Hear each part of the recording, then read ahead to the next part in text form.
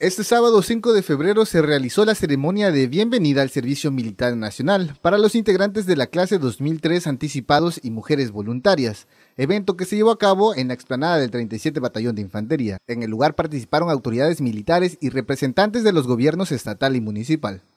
El general de brigada diplomado de Estado Mayor y comandante de la 30 Zona Militar, Cristóbal Lozano Mosqueda, llamó a los jóvenes a sentirse en confianza y ser responsables de que forman parte de una reserva militar que ayuda a todo México.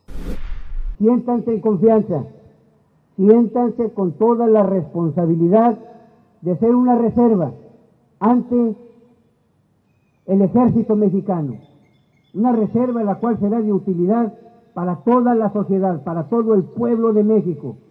Y esta fuerza aquí en Tabasco, obviamente, contará con soldados firmes, fuertes, sanos, aptos para el servicio del pueblo, para el servicio de la sociedad, en caso de ser requerido durante todo este año. Lozano Mosqueda enfatizó en que no deben ser objeto de agresiones por parte de integrantes de las fuerzas militares, ni de chantajes, ni de sobornos para evitar realizar su servicio militar nacional.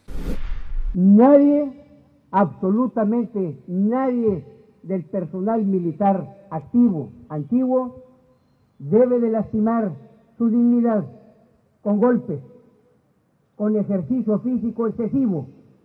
Sí lo van a desarrollar, van a adquirir una resistencia física, pero moderada, gradual. Nadie tiene por qué golpearlos.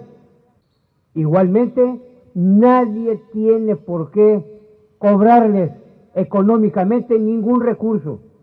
Todo esto es gratuito. Su alimentación, su acceso al campo militar.